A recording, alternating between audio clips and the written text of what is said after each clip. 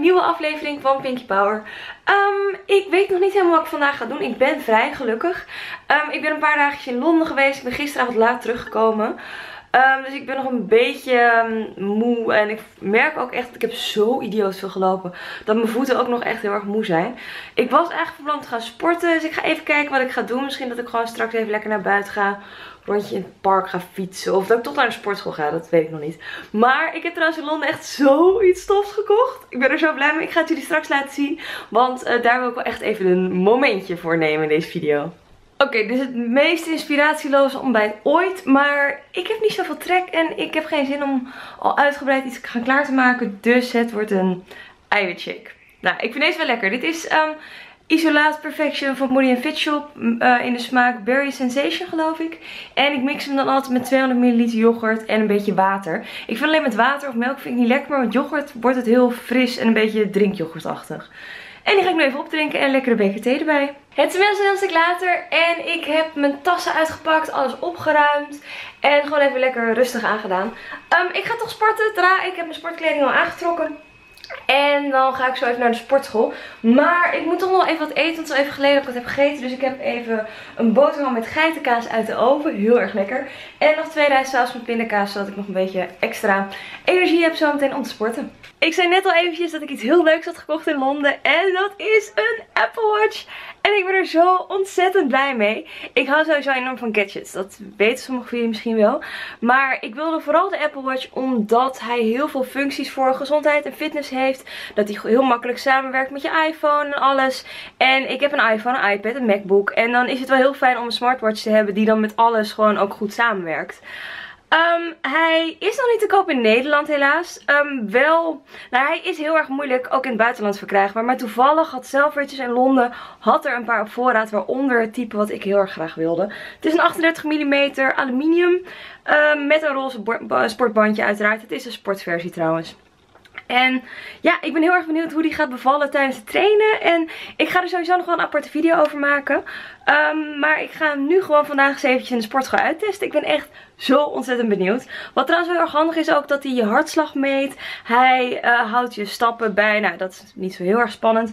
Maar goed, hij herinnert je er ook aan als je te lang gezeten hebt en niet hebt bewogen. Dan krijg je een tikje van, hey, ga eens, eventjes, uh, ga eens even een rondje lopen. Maar goed, ik ga nu naar de sportschool. Ik ga hem uitproberen en dan laat ik jullie zo meteen weten wat ik ervan vond. Hoi, ik ben weer terug uit sportschool en het was wel even fijn om een klein beetje cardio training te doen. Ik heb niet heel veel spannends gedaan. Ik heb eventjes cross trainer gedaan, touwtje gesprongen, fietsen en dat was het al. Ik wilde ook niet heel veel doen. Het was meer dat ik even dacht, nou god, heb ik toch nog een beetje extra beweging vandaag. En ik moet zeggen dat het wel leuk was om met mijn Apple Watch te sporten. En het ging eigenlijk wel heel erg makkelijk. En wat hij dus ook doet, is dat hij gewoon je bewegingen door de hele dag bijhoudt.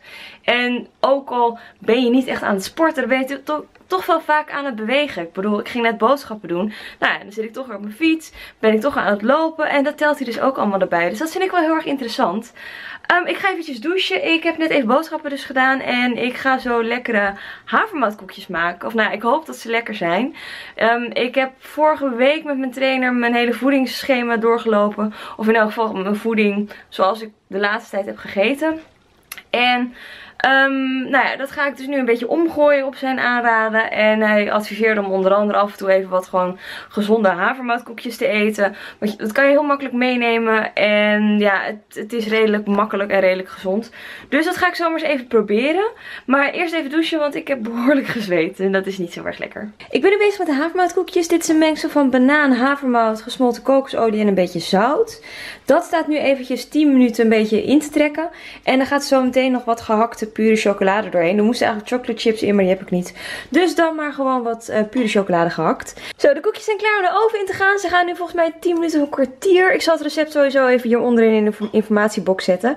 Ik ben heel erg benieuwd hoe ze straks gaan smaken. Tada, de koekjes zijn klaar. En er waren er eerst 7, maar ik heb er eentje opgegeten. En die was erg lekker. Ik moet eerlijk zeggen dat ik behoorlijk duf ben, dus dat ik niet heel veel ga ondernemen meer vandaag. Um, ik ga denk ik zo nog een paar artikeltjes schrijven voor mijn blog. Als het lukt, het is nu 6 uur. Dus ik ga ook maar eens even kijken of ik iets vanavond eten kan maken. Ik heb eigenlijk niet zoveel trek. Maar ik moet eigenlijk wel even wat eten, uiteraard. Dus uh, eens even kijken wat het uiteindelijk gaat worden. Oké, dit is het geworden. Het is misschien een beetje een gekke combinatie. Maar ik kwam vandaag bij de Lidl een mixje voor tzatziki tegen.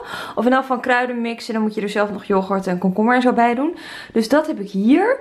Dan heb ik hier wat tomaatjes, paprika, um, komkommer, gegrilde courgette en nog wat olijfjes. En heb ik hier nog wat stukjes um, gegrild brood waar ik ook nog een beetje knoflook bij heb gedaan. Misschien is het een beetje een maffe combinatie, maar ik heb er heel erg veel trek in. Dus ik ga het nu gewoon lekker opeten. Zo, mijn artikel is klaar. Ik heb opgeruimd, spullen klaargezet voor morgen. Het vaste rieltje.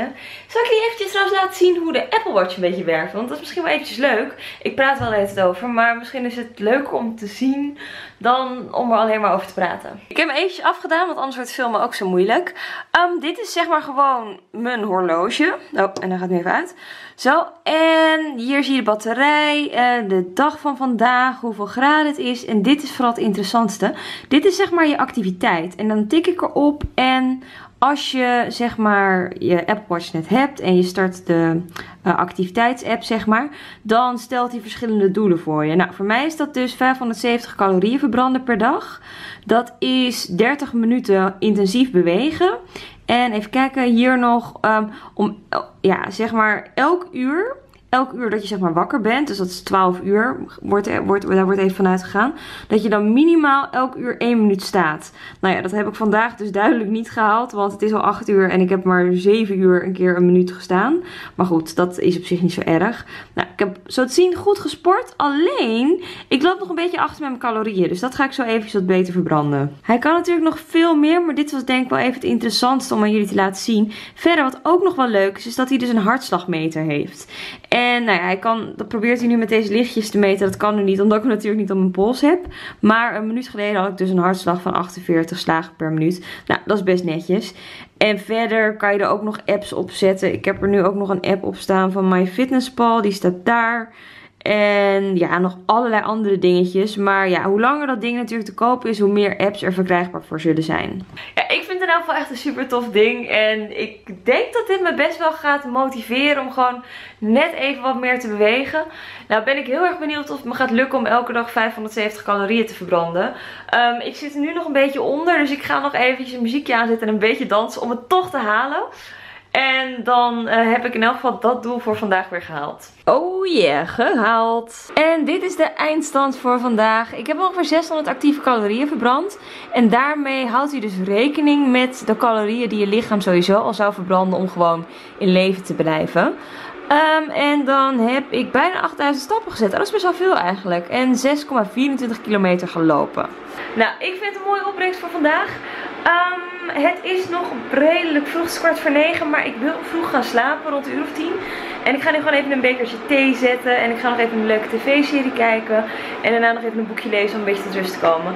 Dus bij deze ga ik deze Pinky Power afsluiten. Nou, ik hoop dat jullie het leuk vonden om wat meer over de Apple Watch te weten te komen.